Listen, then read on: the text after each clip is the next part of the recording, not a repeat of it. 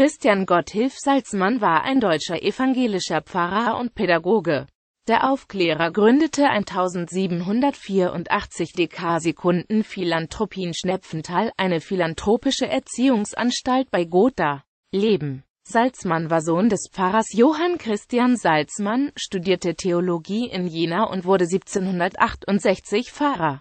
Von 1781 bis 1784 arbeitete er an der von Johann Bernhard Basedow gegründeten und geprägten Philanthropien in Dessau. 1784 gründete er eine eigene Anstalt in Schnepfenthal.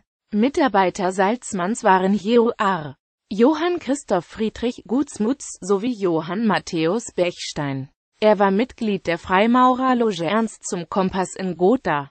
Im Krebsbüchlein kritisierte er in ungewöhnlicher Form die Erziehungspraktiken seiner Zeit, die häufig paradox anmuteten. Mit seinem Werk Konrad Kiefer oder Anweisung zu einer vernünftigen Erziehung war er als der deutsche Jean-Jacques Rousseau bekannt geworden. Ähnlich wie in dessen Emile stellte Salzmann hier seine romantischen Erziehungsvorstellungen vor. Neben der religiösen Erziehung, der körperlichen Ertüchtigung und dem Erlernen neuerer Sprachen war ihm die moralische Erziehung besonders wichtig. An vielen Stellen seiner Schriften behandelte er auch das Problem der geschlechtlichen Unterweisung und Aufklärung. Im Jahre 1785 legte Salzmann die erste Monographie zu diesem Thema vor über die heimlichen Sünden der Jugend. Das Grab von Salzmann findet sich auf dem Waldfriedhof bei Schnepfenthal. Der Oberforstrat Ernst Julius Theodor Salzmann war Sohn von Christian Gotthilf Salzmann. Große Verdienste erwarb sich Ernst Salzmann in früheren Jahren beispielsweise im Vermessungswesen der gothaischen Domänenforste. Er legte die ersten Grundlagen zu dem im gothaischen Thüringer Wald vorzüglichen Waldwegbau.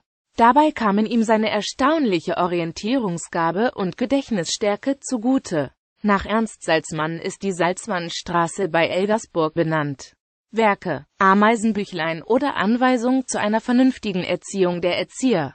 Denkwürdigkeiten aus dem Leben ausgezeichneter Teutschen des 18. Jahrhunderts. Krebsbüchlein oder Anweisung zu einer unvernünftigen Erziehung der Kinder. Über die wirksamsten Mittel, Kindern Religion beizubringen. Karl von Karlsberg oder über das menschliche Elend. Moralisches Elementarbuch nebst einer Anleitung zum nützlichen Gebrauch desselben. Über die heimlichen Sünden der Jugenddichete Leisei. Noch etwas über die Erziehung nebst Ankündigung einer Erziehungsanstalt. Der Bote aus Thüringen, Konrad Kiefer oder Anweisung zu einer vernünftigen Erziehung. Über die Erziehungsanstalt zu Schnepfenthal. Heinrich Glaskopf